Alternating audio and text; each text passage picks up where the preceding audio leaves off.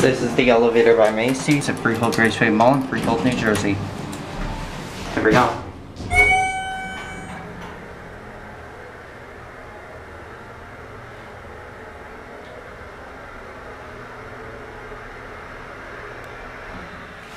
L U L.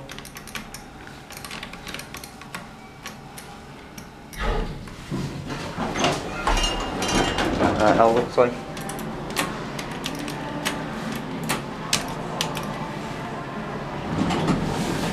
Look at a Capybara. Basic elevator for, for a mall. Railway way here fixtures. Capacity 2,500 pounds. Or at UL. And that